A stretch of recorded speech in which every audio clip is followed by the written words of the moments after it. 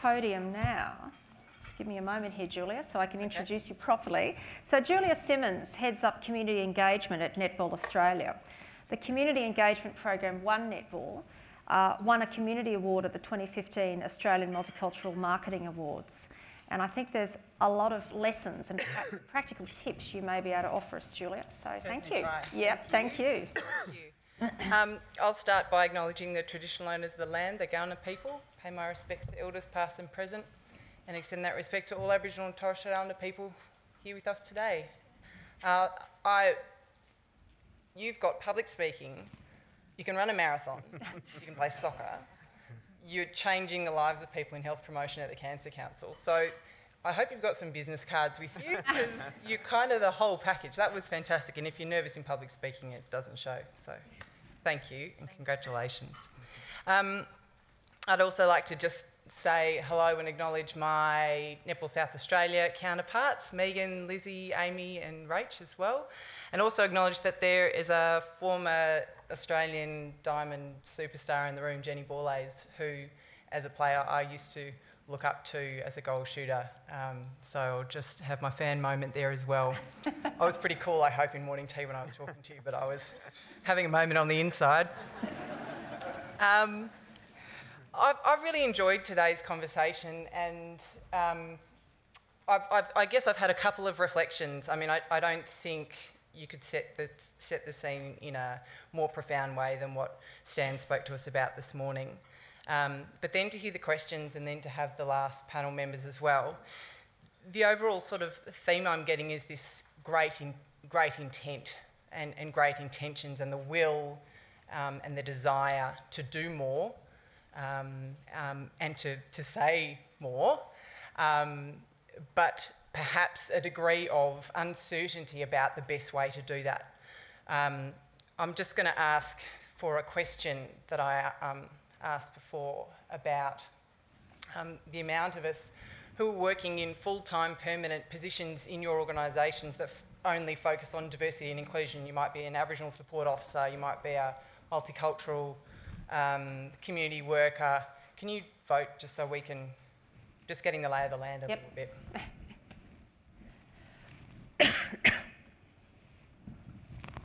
I have an idea of the answer, but I just want to see. We can move on from that. Um, the outcome, I think, um, that might come up, and I'm going to sort of predict the future a little bit here, um, is that we all know sport. We're all employed in our roles, whether it's at local government level. Um, yeah, okay. Oh, that's great. Well, so the, the reality is we, we, work in sport.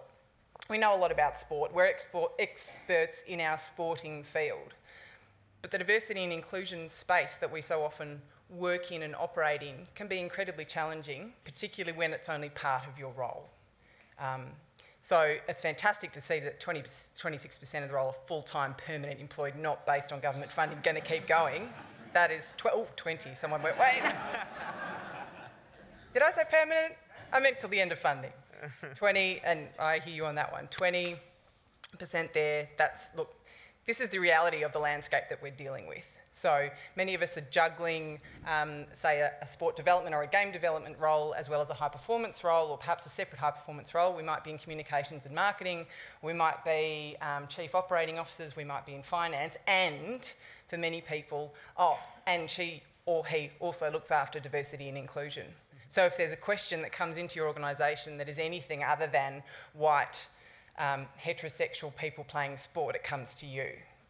And you're expected to be an expert in all of these fields, um, whether it's um, working with LGBTIQ communities or whether it's um, working closely with Aboriginal and Torres Strait Islander communities or um, working with recently arrived migrants or refugees. It can be completely overwhelming. And I guess what I'm just going to try and do is, is get to the guts of it, which is that diversity and inclusion is about people, it's about relationships, um, and it's about turning that good intent that we're all sitting here feeling after being inspired by people like Ruth and our panellists before into action. So I don't pretend to know all the answers. Let me put my hand up right there and say I'm, I'm by no means the expert. Dr. Paul Oliver, on the other hand, just to throw him down the gauntlet, should know every, he is a doctor. Um, and I am teasing. I we bought it not- online. You bought it online. There you go. Um, so we're just hoping we can give you some tangible things that you can walk out of this room with going, okay, look, I don't know everything, but I've got five ideas that I'm really going to give a crack when I get back to my workplace and when I get back to my sports club. So that's what we're going to aim to do. Right, Paul? That's right. That's right. Okay.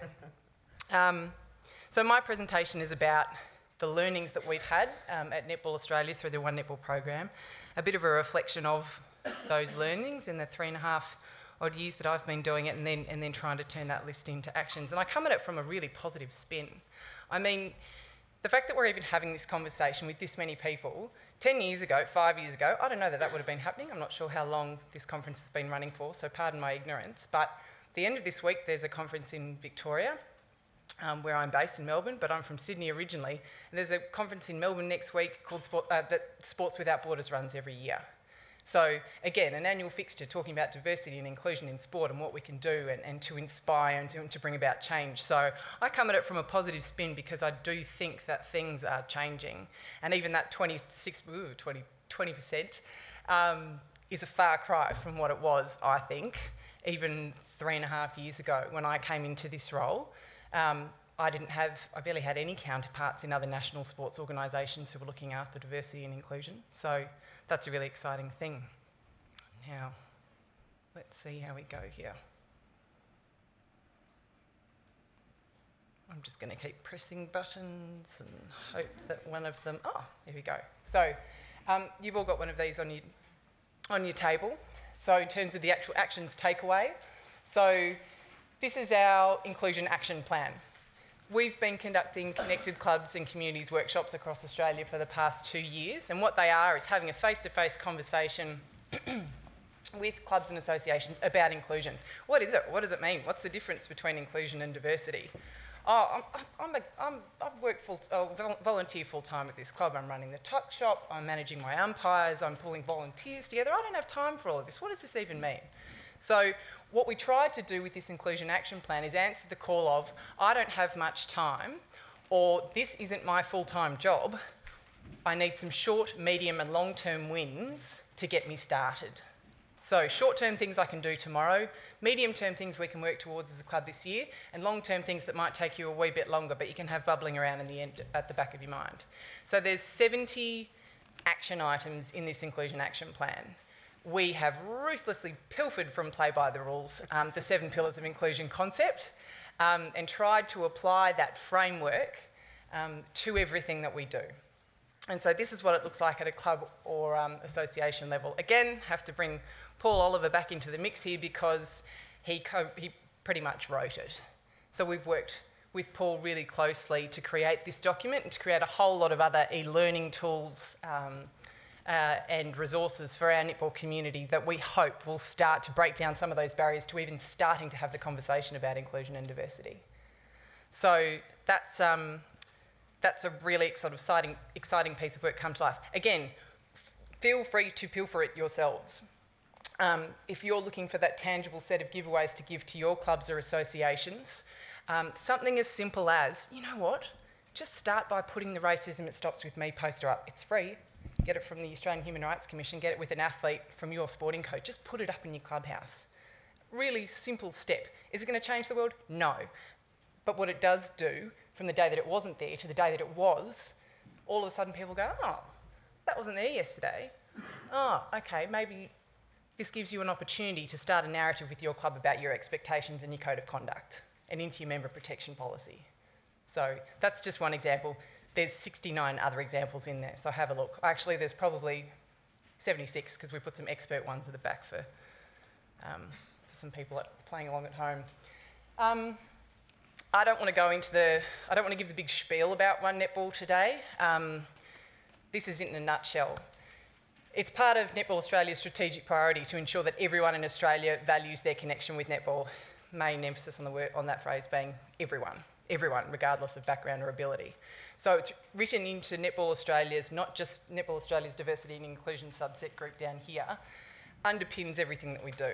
So it's not just my role as the general manager of community engagement to go and tap people on the shoulder and say, hey, um, that test series coming up, that protocol that we wrote around Aboriginal and Torres Strait Islander um, flag flying protocol and acknowledgement and welcomes of country. Have you written? So that's that's it's embedded into our events guys event manual now. So they don't talk to me about it, which is great. It happens. It's embedded in their program, and unfortunately, it sounds a bit morbid, but I sort of subscribe to the if I get hit, hit by a bus tomorrow school of thought. Will this keep happening? So um, I'm going to go into some of our key or some of our key learnings embedding everything you do so it's a, all of organisation perspective is, is critical. I won't read through the One Netball aims, and you'll see there from 2012 to 2016, we're constantly learning and we're constantly evolving. And 2012 to 2013 sort of the starting point for One Netball because that's when I, that's, that's when I started. So up until then, it had sort of been an idea that had been developed, and then we moved through those different cycles of piloting, of, of mapping out existing activity, of moving into implement, implementation delivery phases. And now in 2016, and as I was talking to the, the gang at Netball SA about yesterday, what's next? What, what, do we, what is the best use of funding and resourcing what little we have? How do we best point that in the direction of our strategic outcomes?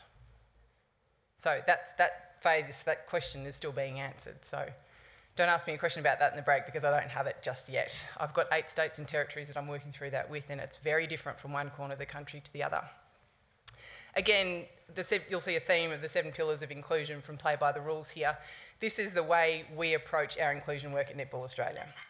So, understanding that all communities need specific initiatives that are relevant to them, that cater for their um, specific needs, and understanding addressing their specific barriers to participation in our sport, we apply these six um, sort of main areas that we address.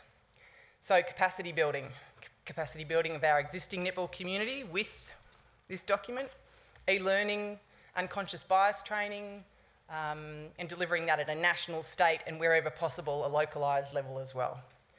So building the capacity of our existing netball community, so if we have a whole lot of new people coming to our sport, we want them to have the confidence and the knowledge and the know-how to open those doors no point in having the best program in the world if you drive everyone to a clubhouse with a locked gate. So that's, that's probably, of everything, to be honest, one of the biggest pieces of the puzzle for us. But also building the capacity of new communities to netball to empower them to run sustainable programs themselves. So upskilling your coaches, your umpires, um, to run programs themselves and for their own communities, um, and for, for the netball community as well, is critical. Partnerships, um, working with like-minded organisations at all levels, um, communication, not just what you say, how you say it, who you say it to, what images you use when you're saying it. It's, it's a massive piece of that puzzle. Um, leadership, we're really lucky. We're a national body. We have 360,000 registered players. We have a huge community that's much bigger than that of, of ex extended family who are standing on the sidelines every week, of people who are involved in and around netball. And we have an opportunity as a predominantly female sport to lead. And that's, that's, a, that's a privilege and that's a wonderful opportunity for us to do some wonderful things for women in sport. Evaluation and research, you've got to measure what you're doing, you've got to monitor what you're doing, um, and making decisions based on evidence, not just based on anecdotal, oh yeah, we think there's a large community of Indian people there. Maybe, oh, because, why is that? Oh, because I see them there all the time. Well, what's the rigour there? you could go onto the ABS website tomorrow and look at your census data and get LGAs drilled down to the top 10 emerging communities in a particular LGA. So make your decisions based on evidence. Um, and we've, we've tried very hard to work with all our staff on the ground in different states and territories to encourage them to access those tools, most of which are free, um, to make sure they're making evidence-based decisions. And then policy. Um, member protection policies our reconciliation action plan actually putting inclusion into action in the form of policies. So this is, this is my reflection. Um, these, are, these are my learnings, and they don't look too polished, as you'll see. But these are the top six things I think if I were to, if when I was reflecting on what I could try and impart, um, uh, and not in a condescending way, um, but these are my sort of six reflections about creating meaningful change because there's change, there's sustainable embedded change, um, and that's what we should all be aspiring to create. So I'll go through these in a little bit more detail. Know your why.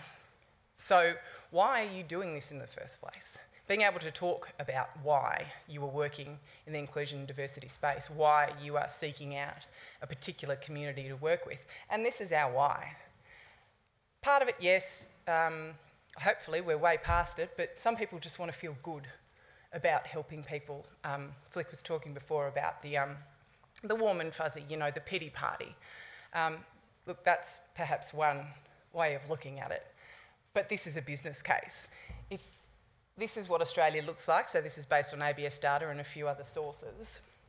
If you are not talking to 75% of the community, uh, to the 25% of the community who were born overseas, or almost 50% of the community who have at least one parent who was, if you're not speaking to your community who speak a language other than English at home, if you're not speaking to your 3% and increasing Aboriginal, Aboriginal and Torres Strait Islander community, if you're not speaking to 4.2 million people with disabilities, you're missing a pretty epic part of your market share.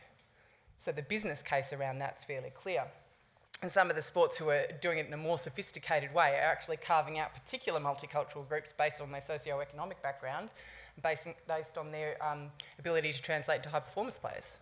So this is our business case. The other part of this is that every bit of research, go to the Diversity Council of Australia, every second day there's an article about how having a more diverse workforce um, makes you more profitable.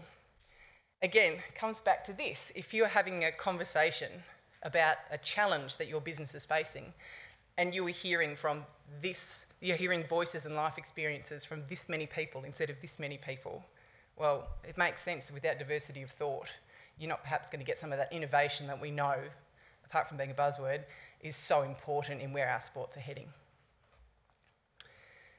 Seek first to understand. Look, this sounds really obvious, and I don't want to tell you how to suck eggs, but it's a really important thing to actually carve out and say, we don't know what we don't know. So, if, for example, you know, you were looking to run a program with a particular multicultural community because of an LGA where they are in proximity to one of your clubs or associations, it's okay to say, look, I'm not quite sure, I'm going to do my research and get back to you. Listen when you have those conversations. Resist the urge to interrupt. It's really hard sometimes, particularly when people might have views about your sport or their experience in your sport that you want to justify away. That you want to say, oh, yes, yes, yes, I know that's probably been your experience in the past, but don't worry, just, just listen. Just listen.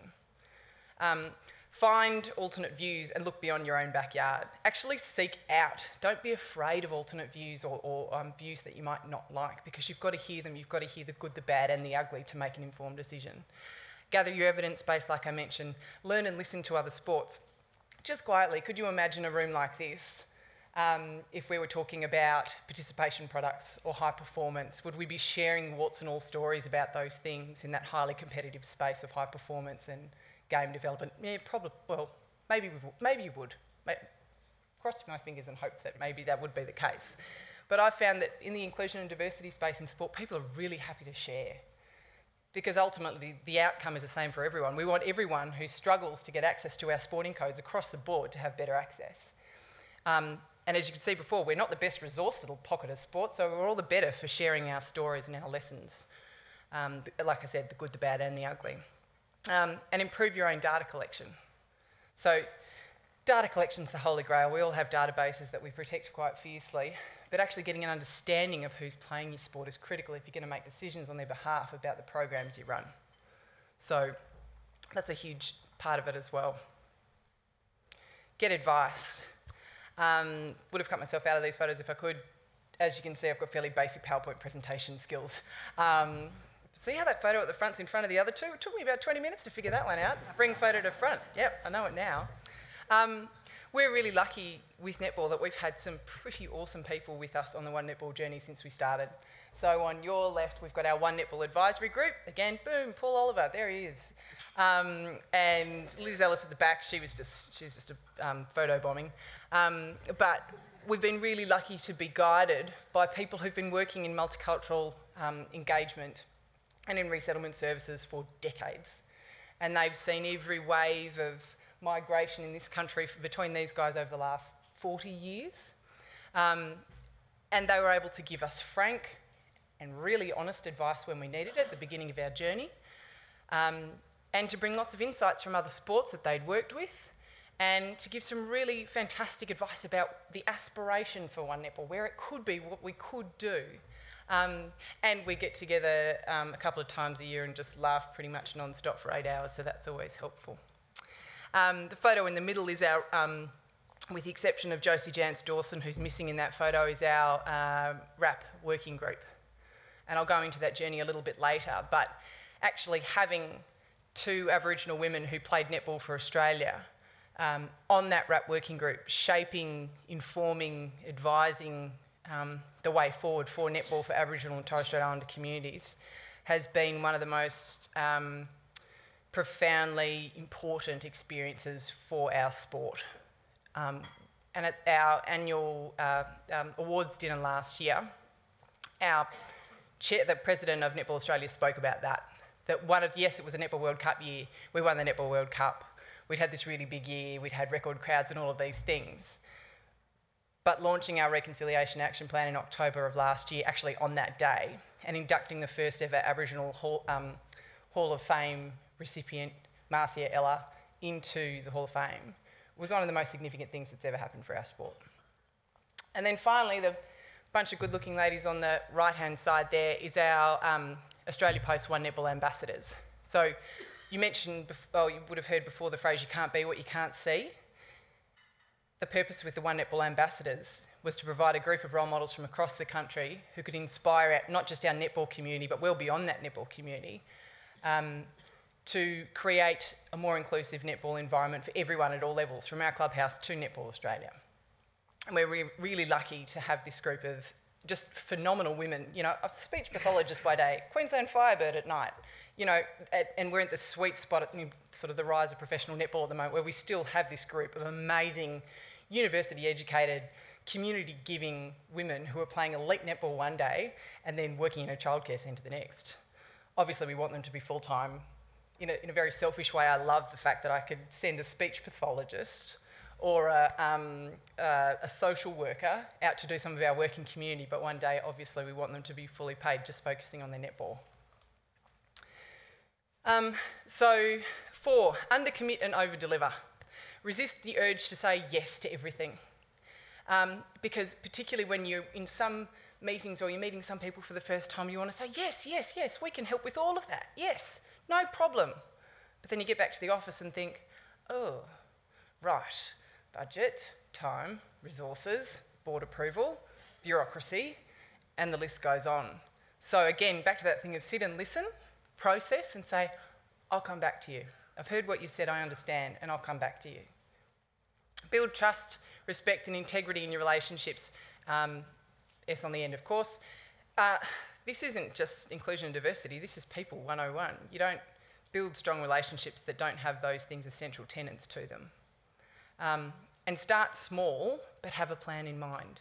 So you might start with a really small pilot program that might only have five kids in it, but as we've seen from what Ruth was talking about before, what might start as half a dozen people running a marathon that turns into 50 something within a few years, um, start small and do small well before you scale to the stars.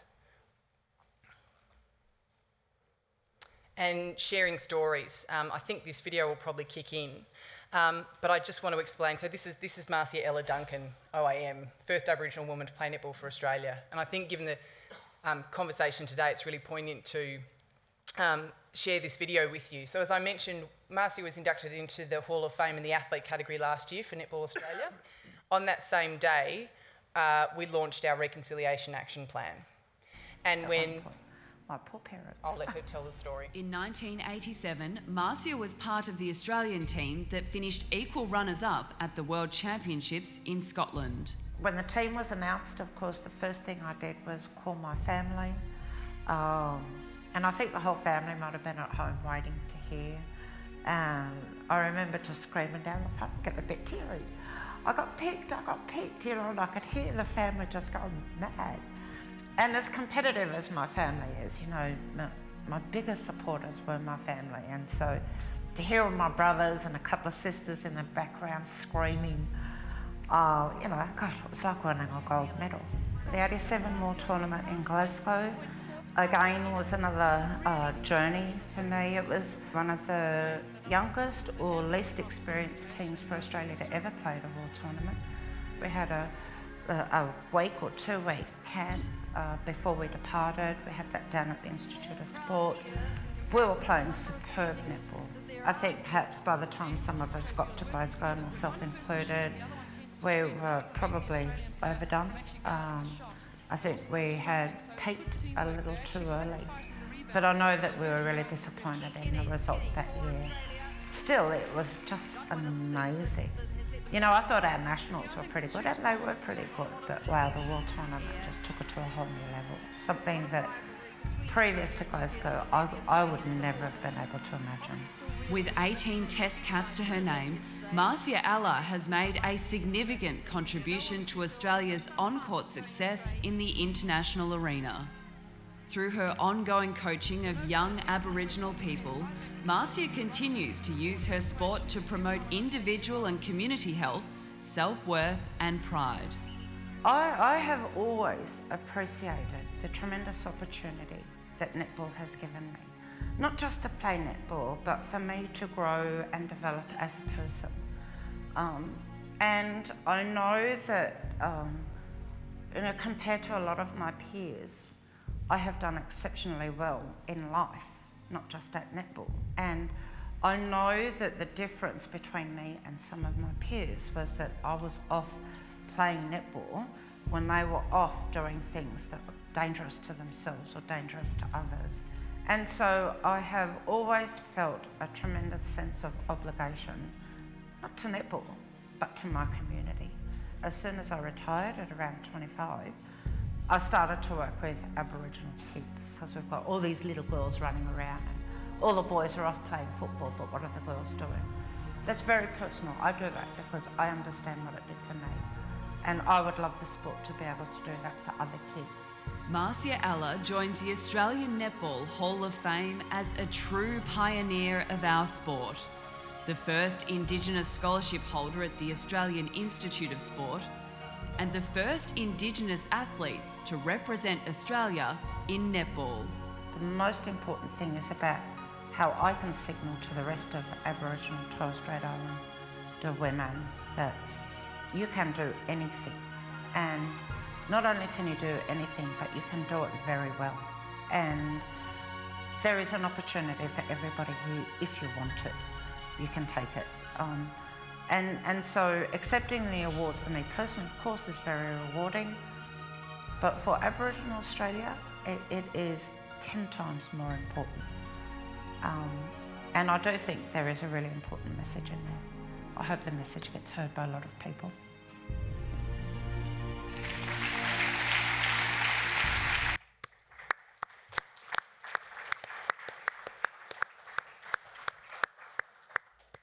why wouldn't you share a story like that? Um, so that video came out the day before we launched our Reconciliation Action Plan. It was then, we had our launch the next day. We had our awards dinner that evening, and that video played at the dinner. That's the clapping you can hear in the background. That's the, um, that wasn't you. Um, and the connection that people had with her story as a netball player was one thing, because the bit that you didn't see before that, um, and it's on YouTube if you want to find it, is about her growing up in La Perouse in Sydney with all the Ella brothers. Um, perhaps some of the southern states might know, might not know the Ella brothers as a rugby union dynasty and, and league dynasty. Um, but growing up in that environment in La Perouse and what netball, the opportunities netball provided for her then. So that story is 10 times more powerful than anything that Netball Australia could tell. Um, and so that's where I'd really say and encourage you all to connect and identify with your community champions and let them be your champions. Build respect and build relationships and trust with those champions and, and support them and show that you're there for the long haul. Working with Marcy has been an absolute privilege, and what she is now giving back to the sport, what she has been giving back to the sport for years, but what she's doing for us at a national level with our RAP working group um, has been phenomenal. Um, embedding diversity and inclusion, I mentioned to this to you before, it can't just be one person's responsibility because if that person goes the next day, where do your programs go? Um, I can't stress enough that education and awareness training has to be done by everyone, from your finance person to the person at reception who answers the phone, to your CEO and to your board. Um, initially, there's always, and I saw some of the words come up before no board buy in, struggle to connect with leadership, that kind of thing we've been really lucky with netball. I'm the first to admit it. We were incredibly lucky. We had a board that was supportive, an executive that drove it, and at our first Indigenous cultural competency session, it went for a full day. Everyone was out of the office at that session, and that's where our journey began. That was the watershed moment that had our finance lady say, "Okay, I didn't get it before. I get it now, and I know what sport can do as a vehicle, and I know what we have to do." So that's super important, and I can't recommended enough. Unconscious bias training, if you get the right facilitator, is a great way for your organisations to start to become aware of the bias that you don't even know you have, but that you're hotwired to have. So even the person that thinks they're the most, you know, not racist, not homophobic, not sexist, everything, you are still hotwired to have unconscious bias. So become aware of it, accept that that's the first thing. Um, it's got to begin in induction. So when a staff member arrives at your organisation, have something, and I think Paul's going to talk about inclusion policies, have something that says what your organisation stands for. It doesn't mean you have to have all the answers, but have something that says this is an inclusive, welcoming environment. Set the standard, and then you'll be able to hold people accountable for that standard. We had a question before about, I think, John, you asked, you know, where do you get the courage to call people to account for the comments that you wish you could sort of, you know, that, that moment on the bus where you wish you could stand up and put your hand up and say, stop, just like before. If you outline what your standards are, what your expectations are from the get go, you're in a much better position to then say, that comment that you just made, whether it's informal or formally, depending on the nature of it, that comment you just made, um, if you go back and have a look at what you read when you first started here, that's out of line. And you, will have the confidence to call people on it because you'll have the structure and the policy around you to enable you to do that. Share your success with your colleagues. Like I mentioned, Adrian, head of finance in our organisation, doesn't go anywhere near sport dev. She's literally in a little filing cabinet enclosed computer world of spreadsheets, which scares the hell out of me. But whenever I finish a video, whenever we have something like that, I'll shoot it straight down to her and say, hey, what do you think? She's not from the sports world, so she doesn't bring the same lens. And I always get fantastic feedback from her and from lots of other people in our business that don't have anything to do with the day to day sporting stuff. Take them on the journey with you, um, provide opportunities for them to, to contribute. We have a staff wrap um, network and we catch up once a month and we talk about a lot of the things that Stan mentioned this morning when, when everything was unfolding with Adam Goodes we talked about that. Um, when um, uh, what was going on with the Opals earlier in the year was going on. We spoke about that. We spoke about how easily that could happen. Could that happen in netball? Well, the answer is yes.